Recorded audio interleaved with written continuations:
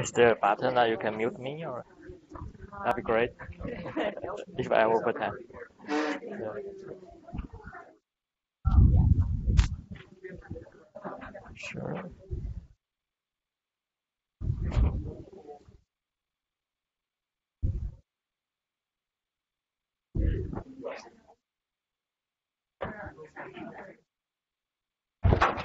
Yeah, it's on. So can you hear?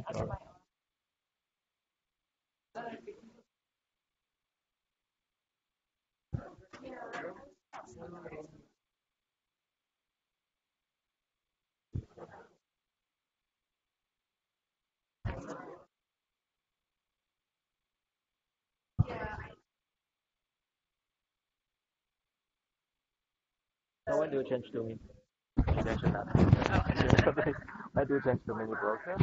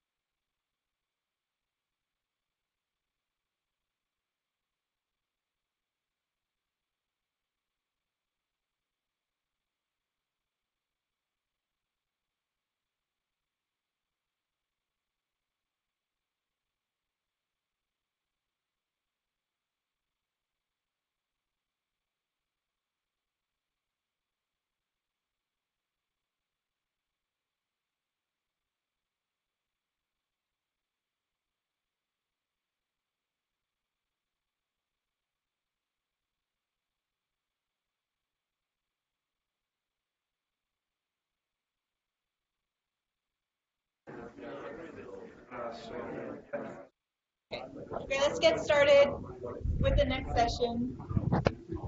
So in this session, hey, This is my chair. okay, getting started. Sorry. Yeah. Oh gosh, yeah. So many things. Just yeah, I sound like my. Having a moment up here. Okay. Right, we're starting the session. This session, we're going to hear from two alert brokers. So hopefully they'll clarify a little bit um, how you as individual users will access alerts and how your TOMs will access alerts, both from ZTF now and from LSST in the future. Uh, so the first one is Chen-Su, and you're going to tell us about Antares. Yeah. Yes. Thanks, Melissa. So yeah, so Antares is among many brokers, so it's one of them. And our goal is to provide a community-based high-level broker for LSST. I will explain a little bit more what do we mean about um, high-level broker. So it was originated from our national observatory and then our colleague from University of Arizona. And then as time uh, goes on, we also uh, have new partners uh, from um, like from the Space Telescope Science Institute and also from NCSA in Illinois. So to start, when I was a graduate student, uh, 30 times 30 arc minute imager is called a wide field imager. And I was uh, working for alerts in uh, for transient in M31, so we need a, a lot of mosaic here. you can see in the past decade, there have been a lot of wide field imager. And then in the eye of ZTF, it's just a tiny part of uh, CCD. Uh, for better or worse, that means we are going to uh, receive a lot of alerts. So for ZTF, it could be like hundred thousands, even a million. And then for ST, will be 10 millions. So that means we need to um, deal with that. Um, and then to make things even more complicated, we have so many different kind of uh, variabilities and transients, as uh, Steve showed you yesterday. And on top of that, we have a very limited amount of time to react for those really interesting targets. For, for example, here, we're looking for something like uh, um, decay within few days. So you really, you really need to respond in a very timely manner. So just want to remind you, uh, traditionally what the observers do is that they have their own small telescope to survey the sky. They got maybe a couple of uh, events per night. They can use their own resource to do follow-up. But this will not be the case in the future. So um, to make things, um, so to tackle this uh, issue, so we have uh, this um, scheme. So in the future, the uh, um, the uh, time ecosystem will be the uh, the surface send out a, a lot of alerts, and then we'll be dealing with them not by humans but by machines. So this uh, how Antares or broker comes in. So the idea is that just like a stock exchange, have so many so much information that you don't want to go through each of them. So you rely on a broker. The broker will select the ones which are more valuable for you to uh, to follow up. And then in the downstream, we have uh, TOMs. That's why we're here. So TOMs will be talking with Antares. So from those favorable ones, um, TOMs will talk to um, the telescope, try to schedule telescope for you. And then when they set a schedule, the telescope or the observatories will obtain follow-up spectra or deeper images. So this is what we'll see in the near future. So just to give you a little bit more detail about what brokers or Antares will do, is that assume we got LSST, we got 10 million uh, alerts per night. So what we're going to do is that we first will get all those alert ingest in our database. We try to associate them with previous alerts. So say if they're on the same location, then we can say it's probably the same object, then we can build a very uh, long time baseline light curves. Then from the light curves, we'll extract different kind of features and also we have a kind of external database which called Touchstone. So that keeps the information of all different kind of objects. Could be variables, uh, LIRA or Cepheid. Could be transient like type 1a supernova or TDEs or gamma burst uh, afterglows. Then you can compare uh, the visual get here with touchstone. Try to have idea what you get from what is the uh, nature of this alert. Then you put in different kind of filters at the end, what we try to do is try to um, downsize this to 100 of rays of uh, rare events per night so that you can do uh, efficient follow-up. Uh, so uh, we start by, uh, aside from the infrastructure, what we really want to do is all science-driven. So yeah, we'll show you uh, several sense cases that drive in, drive in this infrastructure. So the first one is transient on demand which is very typical for classical schedule telescope. Say you are scheduled for a couple of nights per, night, per month, and then you want to um, look for young transient. Then you can just go to the broker and say, okay, I'm going to have some observation in two nights. Can you give me young transient within the past maybe three to five nights? And then you can do follow-up. This can be also uh, can also be very useful for like a solar telescope because right now SOAR is using um, so it's scheduling several nights per month for the uh, for the TOM Toolkit after a few nights. So this can also be very useful for that part. Uh, you probably want to do something more um, more timely. For example, like TD events. So for TD events, uh, uh, optical is not sufficient. If you really want to understand the physics, especially some TD events can launch some jet especially in the radio. So we really want to do a multi-reference follow-up from X-ray all the way down to radio.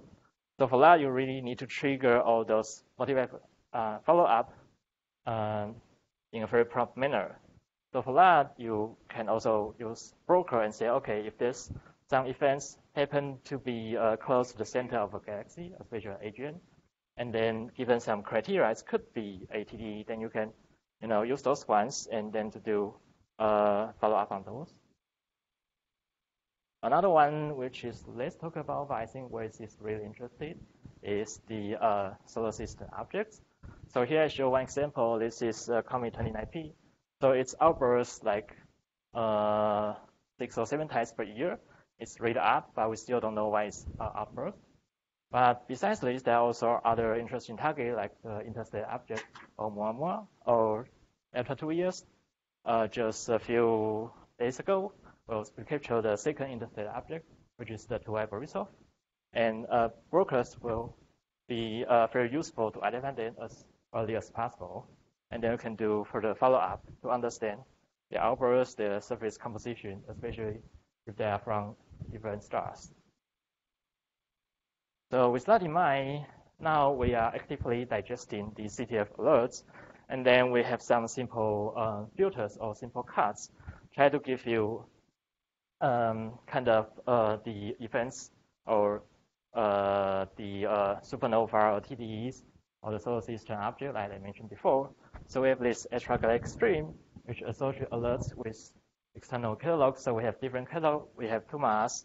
We have uh, we have uh, the catalog from the NASA extragalactic database. We also have the NYU Value-Added Galaxy catalog, and so on. So we can um, um, cross-match with them. And then if it's in one of the catalog, then it's very likely to be uh, extragalactic because it's associated with the extragalactic galaxy. And also, uh, if you only have like a small telescope, for example, like two to four meter telescope, which is not good enough to get a spectra of very, very um, dim object, uh, we also have this high skew ratio um, alert, which will give you uh, most likely very bright, so that's why they are very high signal noise ratio. So you can do follow up easily with even two meter telescopes. And with this nuclear transients close to the center of the galaxy, possibly TDEs. We also have uh, alert screens for um, solar system objects. So actively sending out all those screens in real time.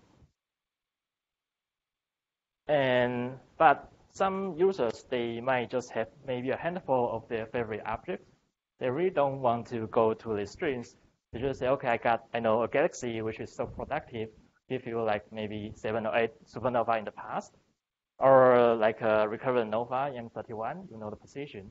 So for that, we also have a watch list function. So just give us a list of your objects, define a certain search radius, and then we'll notify you through Slack. Think everybody is living on Slack now, right?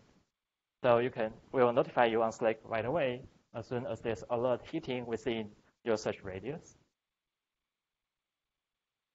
All right. So of course, you know, that's our plan, and they want to demonstrate that we can really realize it. So uh, within Antares, with some scientists that working on their, you know, favorite science object. For example, we use the strings. We have already found young supernova, especially like 1A, also a young dwarf nova in the in the Milky Way. And this one is a recurrent uh, nova in M31 we use the watch list function and then we got it uh, uh, right away and then get a spectra using Gemini. And then it was really lucky because it's just right before Kea was closed. But we're going to do more, so we're going to do more than that. The first one, I think, if we don't do gravitational wave, then there's no point. So uh, we're trying to put in a filter so as soon as we have the GCNs from the uh, LIGO, then we can put in a sky map, and then we can uh, retrieve all the events, all the alerts from ZTF within the sky map. We can also set a cut, say, okay, we only want to find new alerts. So the alerts which has been seen before the LIGO trigger, those are not likely to be the optical counterpart. But this is work in progress. We also want to do uh, machine learning. So we have a graduate student, uh, and then this is basically from uh, Daniel. Uh, it's basically from our colleague in uh, in uh, University of Illinois. So they are actively using the machine learning. So here is the probability of its likelihood to be so many different kind of class, and then this is when the light curve comes in. So you can see it can uh, classify alert on the fly and then try to update it as you get more data points in the light curve. And this is one example that it's uh, successfully classified ATD events uh, merely from the light curve, not even from getting spectra. There's other thing I want to do. So when people look into different kind of alerts or transient, they want to know which one is uh, unknown unknowns. And the way to do that is that you try to sort out the ones you know, and then the ones you don't know doesn't fit to those categories could be something which is anomalous and could be very interesting. So we are now uh, uh, implementing a statistics learning approach. So the idea is that you go to the uh, the variation in uh, the magnitude change as a function of time. Then you can see a distribution from different kind of source. For supernova, for 1A, it could be looking like this way. For AGNs, it looks differently. So, and then you can also look into the colors. So this is the different color. This is G, uh, G uh, minus R. So from this, you can compare when uh, when an alert comes in, you can compare the distribution of your alert, uh, the property of your alert compared to its distribution, and then you can find out those anomalies.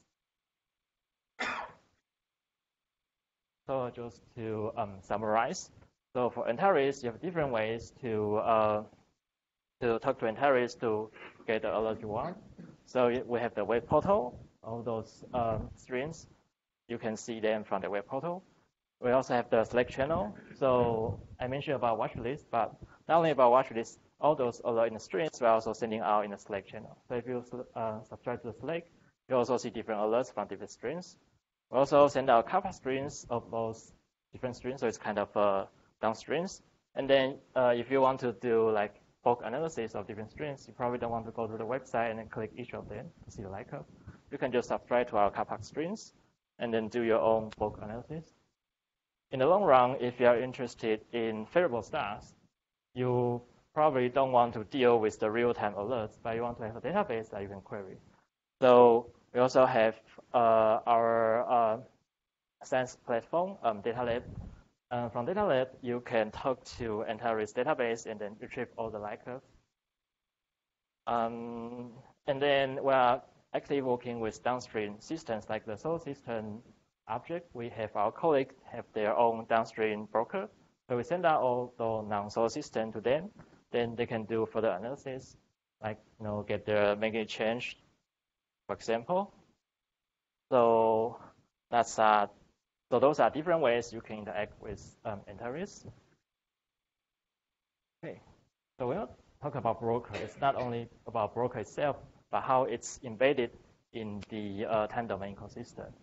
So uh, from a national observatory, we can provide a lot of different uh, complementing um, tools. So from the source, we have LSST, and then we have uh, Antares as a broker. You can do the real-time alert filtering. But in the long term, you can also use our Sense platform, uh, the um, data lab. And then downstream, you can talk to Tom. And also Tom have this, uh, Tom can access. So from this workshop, you can access to different telescopes. But from NOAO, actually, from our national observatory, you can actually get more time besides those 50 hours. You can. So uh, we have proposal every two, uh, every six months. Then you are encouraged, if you are using Antares, you are encouraged to use all those network of observatories to do your follow-up. And because of this, so some of you may notice that we have to change our name. So now we are called NSF National Optical Infrared Astronomy Research Laboratory. So we are now one of the NSF's um, lab. So uh, if you are really interested about Antares or how to use a broker, so in this afternoon, um, we have a, a on conversation I can show you how to use Antares. So for one, Tom has a button here for Antares, so you can just click this button and then subscribe to all those streams. So this is different from the other brokers. Other brokers, you can do a SQL query. But if you know a filter, you can use Antares to get those uh, uh, alerts from those uh, alert streams. And to make it better, you can even develop your own filters.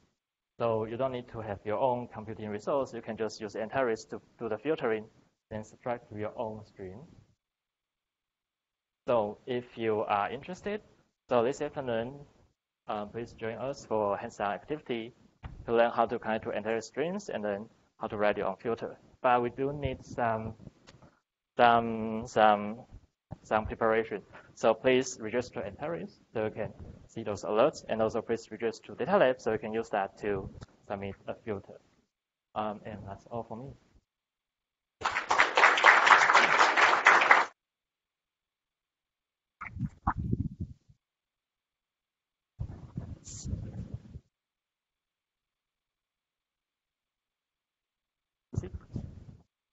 So I was curious about your Antares uh, write your own query for your own stream. Yes. Um, is that only using the metadata in the alert packets, or can you add cross matches to other Galaxy catalogs or other catalogs? I mean, how much? I mean, how, how flexible is that part? Yeah, that's a very good question.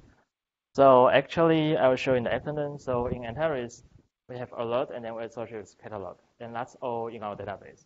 So in principle, when you write a filter, you are querying the database with the cross matches.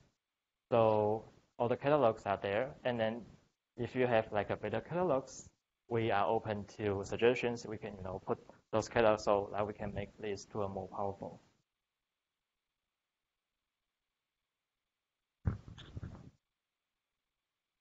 Yeah, I had a question. Um, you had all the, the alert streams that are, are, are predefined. Um, is where's everything else? Is there a um, one? is there an anomalies stream?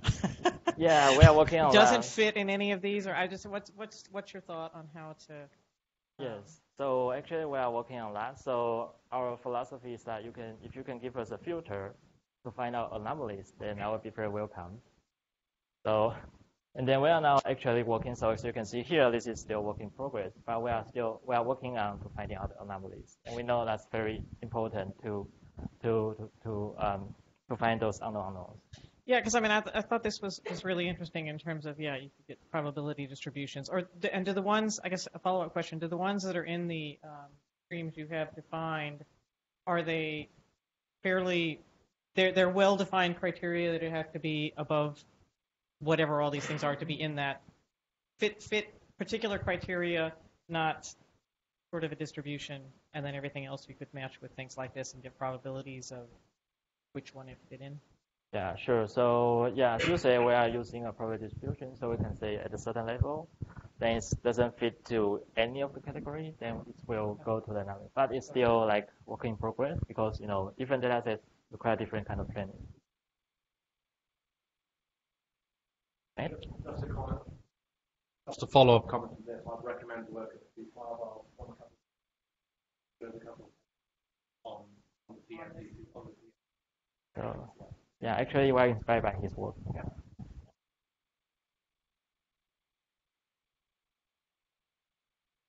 I'm sure you said this, but everyone can get accounts, right? Totally open. Yeah, exactly. Public. So not only the Antares account, but also the Slack account, so you can get notification right away. There's no more questions. Let's thank Chinsu again.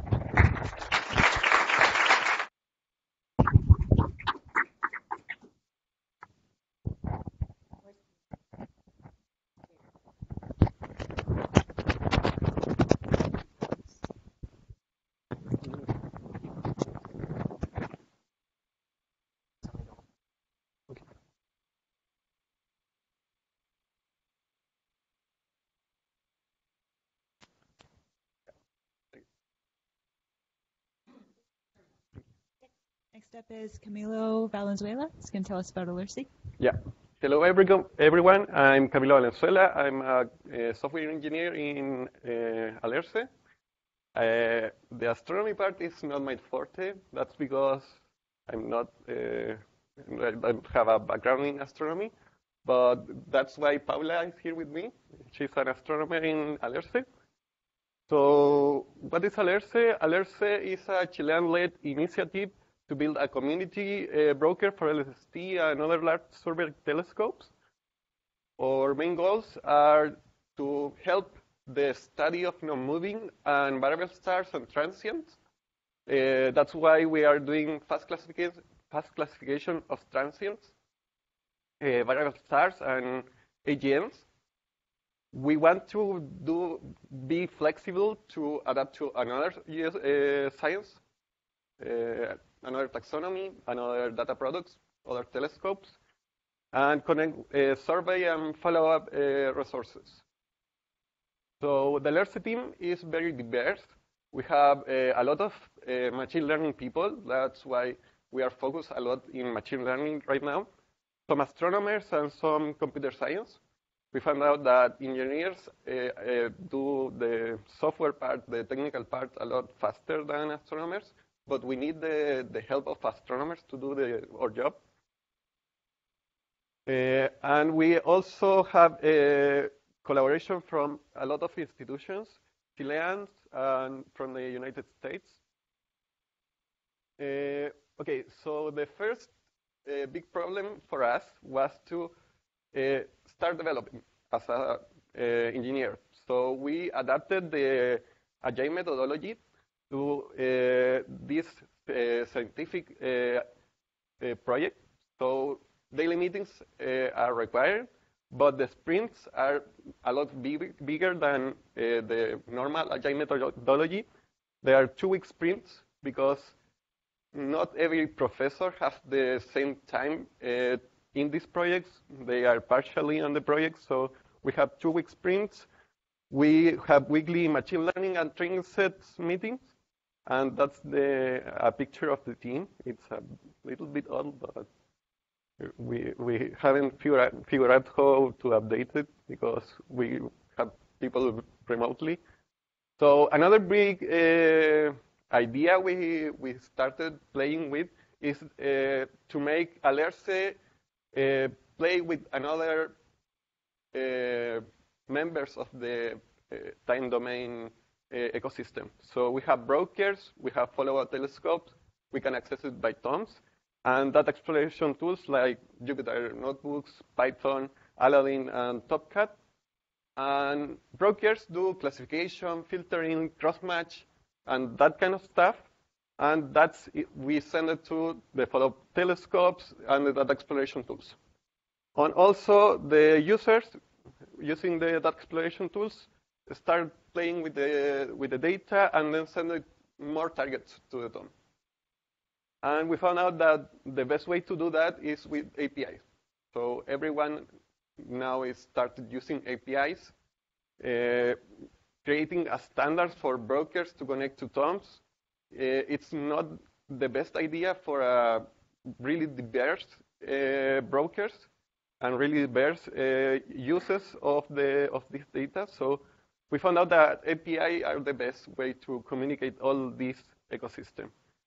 And also inside the brokers, we found out that a lot of us are making the same uh, thing. So a lot of us are doing cross-match. We are doing classification. Maybe Antares is doing filtering. So the user can achieve a better filter with uh, using two brokers or three brokers. So interoperability between brokers is really important. So the current pipeline of Alerce, we get the alert stream, then it's classified with an early classification. We use the, the only the first stamp of the alert of, the, of an object. So the discovery stamp is used to do an early classification. And we want to do an automatic uh, follow-up, but now we are doing that manually. So we have the model classify the best candidates of, for example, supernovae, and we inspect that manually, the 100 best candidates, and we send it to TNS. We don't have uh, a, spectro a spectroscopic follow-up because we don't have time, but if you have, we are really, that will really helpful. And that will make a lot of science. So we also are doing cross-match, and we are doing another uh, classification using uh, magnitude correction. Then we aggregate, aggregate the light curve, calculate some features, and we use that to get a late classification from the uh, whole light curve. So for example, AGNs, variable stars, and that kind of objects, we don't need to be uh, online. So that can make a lot of other type of science. So for the early classification, we are using deep learning, a convolutional neural network, uh, using only the detection stamps. So we are using one uh, alert. And the taxonomy we are using, it's really simple, AGN, supernovae, supernovae, viral stars, asteroids, and bogus. And we are preparing the paper, so we, I can't discuss more about the architecture of the convolutional neural network we are using, but uh, that's what we are using. So, for example, why are we using the only the first detection? Because, for example, AMPEL is using two detections to uh, generate an alert, an alert to TNS that the, that is a possible candidate of supernovae. We are using just one. So that's give us the advantage that the time between our uh, submission to TNS is in a median 6.8 hours because we use uh, manual inspection of the of the candidates, and the other uh, uh, the other submissions are in between uh, 4 4.5 days. So we gain like three days before another team sent that uh, same report of an object. Uh, and we are really late for the spectra. So we need to get spectra before uh, that to get more information for that supernovae. And as Matthew showed, we have uh, now classified uh, 57 supernovae um, almost all are supernovae 1A. This is spectroscopically classified. And we got lucky and we got a TDE. That was a lucky shot. Uh, and the late classification, we are using a more complex taxonomy. This is what we want. That's the taxonomy that the Chilean and the US community start working on.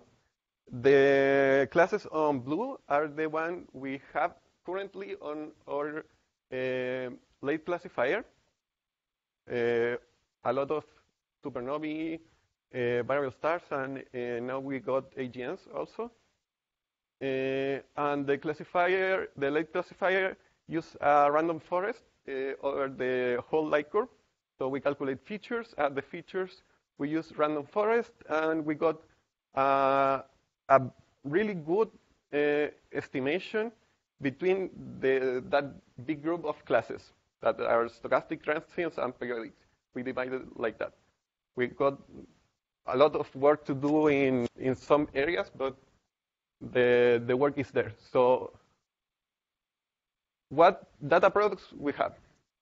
As I mentioned, we have a lot of developed on APIs. So we have an API to access our ZTF uh, aggregated data uh, with the classification, the early classification and the late classification, a service to get the ABRA or the stamps, and a service to do cone search and cross-match using catsHTM uh, software.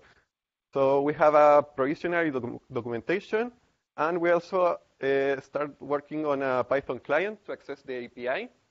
We have a auto stream of Kafka for both classifications, but we haven't put it on the API, the, uh, the Python client, so we are not public in that way.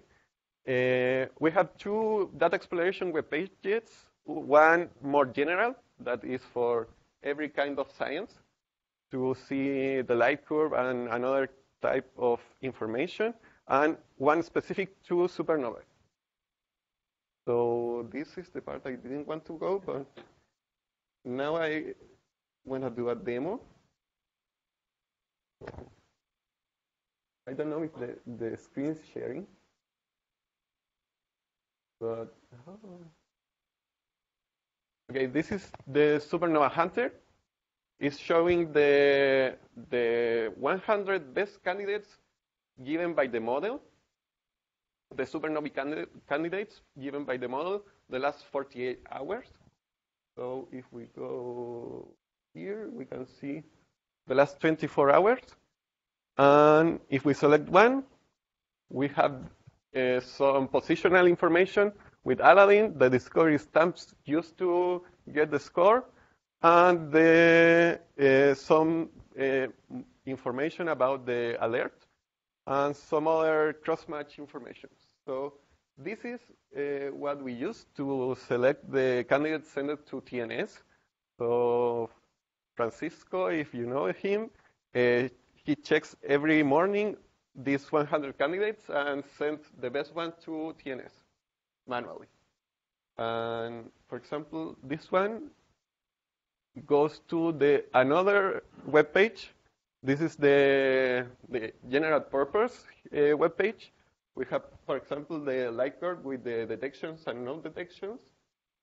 If we zoom in here, for example, and I click one, we can change the stamps, selecting one point, for example. And we have the early classification of that object. It says like a 100% supernova.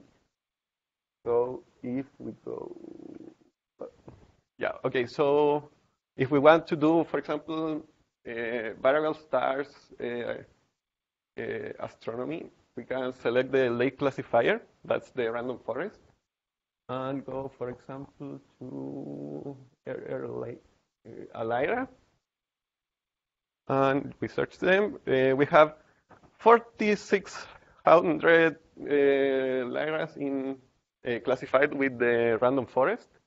If we select one, we can see the same information, positional information, the random forest um, probabilities, and we have, for example, cross-match with some catalogs, 2MASS, DECaLS, Gaia, and also we can fold the light curve.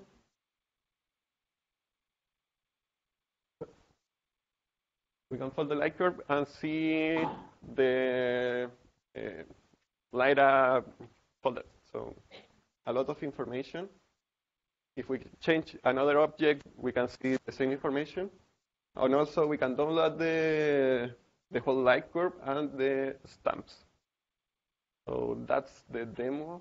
I don't want to go more deeper into the clients and that kind of stuff. But this is pretty.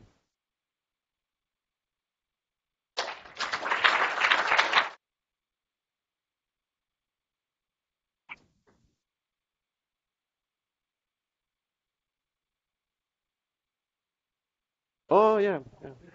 yeah.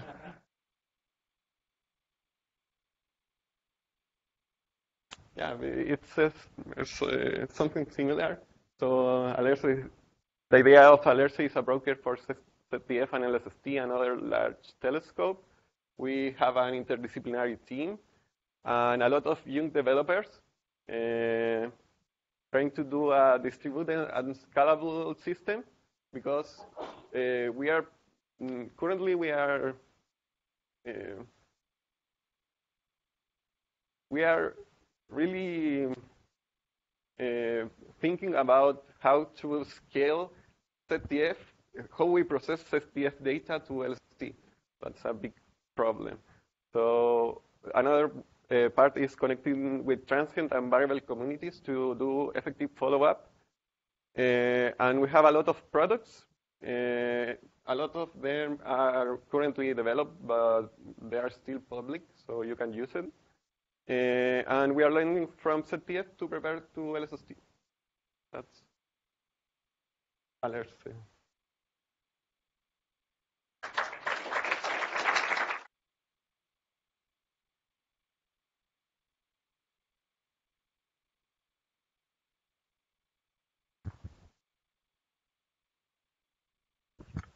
So the project is really nice. Uh, what I'm a bit surprised about is the one detection trigger Yeah. you have.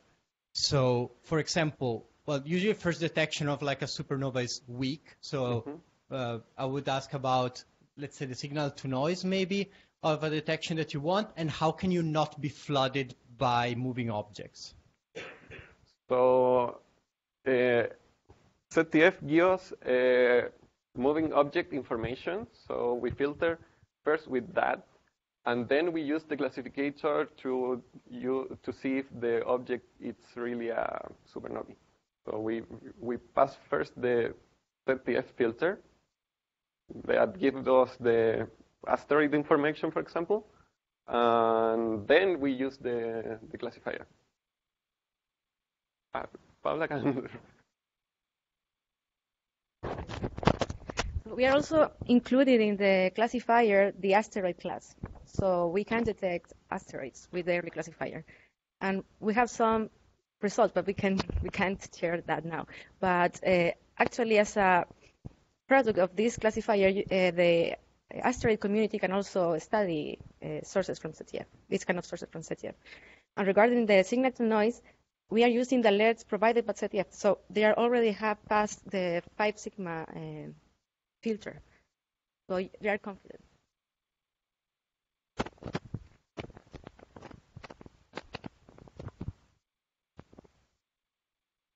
Yeah, I also want to say that was a pretty impressive demo. Nice work. Um, and then I guess yeah, my question was about the classifiers.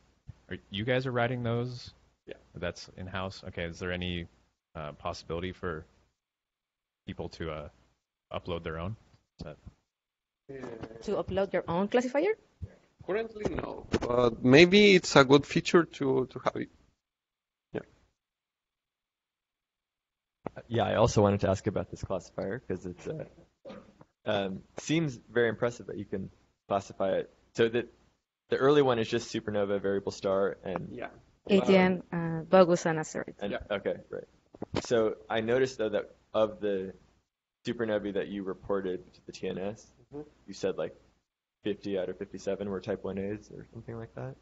T- turned out to be. Type Ah, yeah. So, they're like 35, 36. Okay. Yeah. Okay, yeah, yeah. Okay, then that makes sense. I was worried that like you were only classifying type 1As as supernovae and No. nothing No. else. But it seems like this is about the right proportion. Yeah. Right. But I, I'm asking, so like, have you checked that the things being classified as supernovae by your early classifier are like include all types of supernovae in the Yeah. correct? yeah, the, the thing is that with the early classifier, we cannot separate the classes. Right. So with the with the late classifier, we are working on that, uh, trying to separate. But with early, we just can say it's a supernovae. Right, but there, but it's not biased towards a certain type of. Uh, It's not like type 1b is getting getting lumped in with. No. Well, it's some, I think it's something that we have to test because the training set is dominated by the type 1As. Right. That, exactly. that's But what- we are working on uh, doing the documentation to improve that. So that's why that's why it's still a in prep uh, project. So you, you you have to wait for the final answer. Well, yes. Yeah. I, I, actually, that's what it's doing. That's, that's what I was doing. So it's classifying in real time, but then we wait to the next day to to see it manually. So the, we can send the stream live, uh, live but uh, without the human interaction, uh, we don't send it to TNS. Uh, what we, they have shown before that, um, for example, the rapid classifier that is classifying uh, transient in real time. Mhm. You have something like a score Yeah. that is changing over time. Yeah. For the late classification, it's changing over time. For the early classification, it's just one because it's the, the discovery stamp. But, yeah.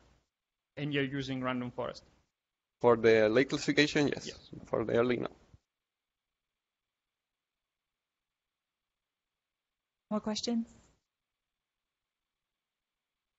I have one question. Does Alerce take um, classifications from the TNS and apply them to the objects that are in your database?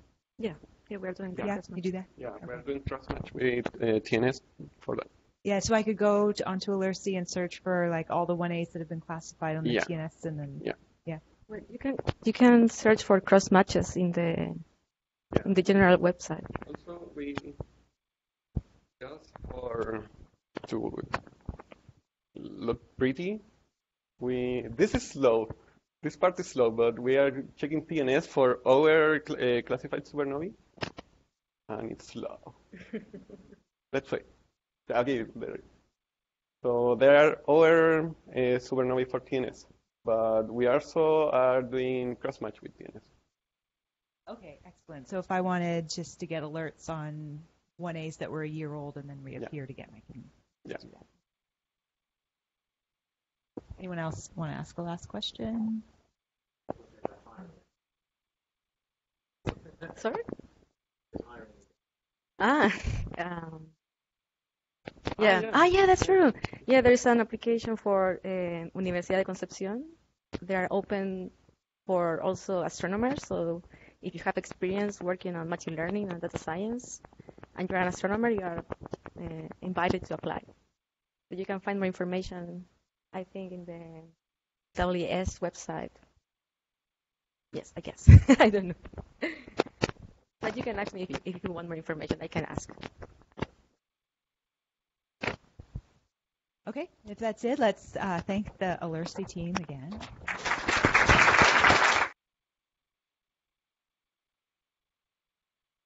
Uh, that's it for this session. Remember to fill in your pitch slides over the lunch break if you have time, and then we'll present them later today. And other reminders to come back at 2 p.m. after.